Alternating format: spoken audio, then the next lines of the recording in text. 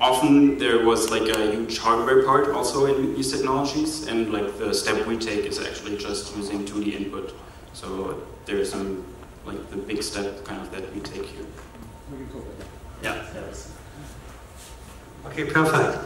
So um, just, just uh, to make a short summary here, I would say the main advice in your case would be focus, be um, less, less information, yes. And we can discuss afterwards.